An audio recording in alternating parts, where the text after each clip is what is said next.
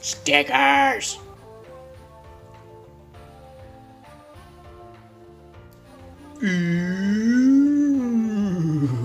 Oh. It's microspline. That sucks. We ordered an XDR. Well, that's okay. Onyx is taking care of it because Onyx freaking rocks. Instant engagement.